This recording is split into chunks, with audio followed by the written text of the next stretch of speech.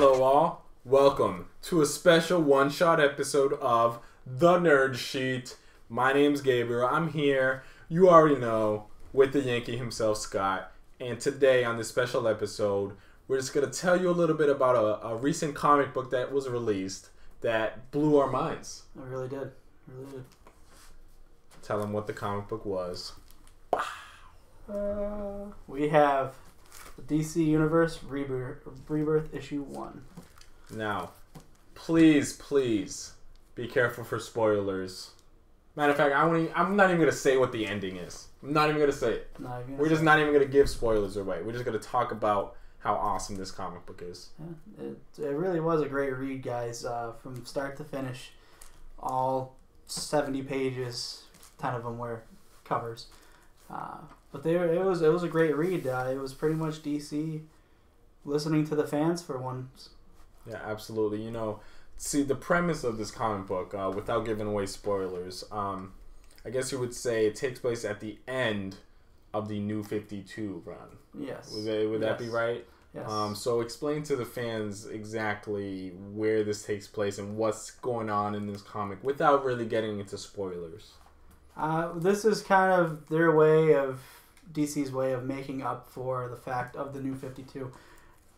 As we all know, DC does tons of reboots. Their their universe is really really hard to follow. Uh, It really this is. was kind of a way of saying we know we've messed up.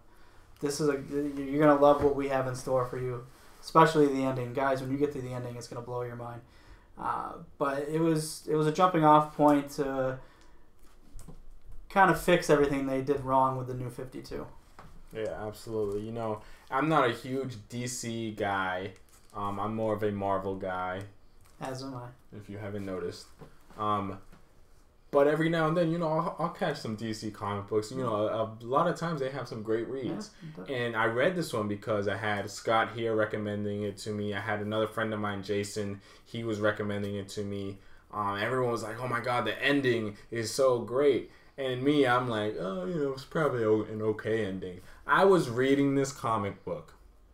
Literally, I got to that last page and I gasped. I was like, "Ah!" Because the ending is that crazy. If you follow comic books and know exactly what's going on. Absolutely, and guys, I would I would definitely say pick this up, read it if you haven't read it. Go to your local comic shop. Uh, it's it's a great read. Uh, I really think DC is going to do some good things here in the future with the rebirth. Uh, they really have to kind of make up for their mistakes, and I'm really excited to read the rest of the rebirth issues, Flash, Batman, and. Uh, you know, I'm just really excited. This is a great time for comics. There's a lot of great comics in the market today, Oh yeah. uh, and this is just one of many. But this one, like Captain America, if you've read that, blows your mind.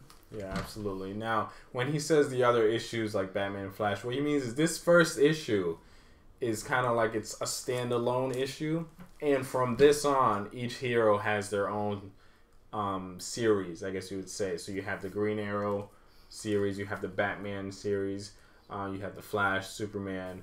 All of them, they have their own issues uh, of comic books after this one um, introduction comic, I guess you would say, is what it is. Absolutely. So read this one first, and then go off and read the others. Pick it up at your local comic book shop. For those in the New England area, I guess uh, Newbury Comics you have, um, New England comics, New England Comics. Comics, all that stuff. Um, which one is the one that uh, you go to? I go to Silver Moon Comics in Salem. They're located in the Cinema Salem, well, the Salem Museum Place Mall. Uh, great shop. The guys there really, really take care of you. The owners, the the owner's girlfriend, they they're great. They know their comics. They give you great recommendations. They never steer you wrong. Uh, just great experience when you go in there. I love supporting local mom and pop comic book stores, and Silver Moon Comics in Salem is just another great one.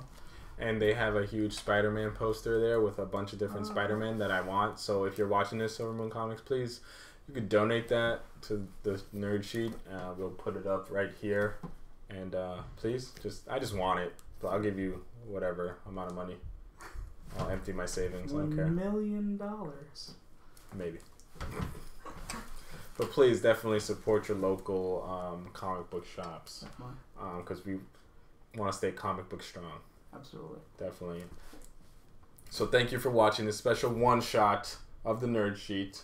My name's Gabriel. You can find me on all social medias at Nerd Sheet. This is Scott right here. Find me at Scott9406 on Twitter. Handle is the same for Instagram, Facebook. Come check it out, guys. Absolutely. Thank you for watching. Please subscribe, like this video, stay awesome, read some comic books, stay nerdy. Peace out.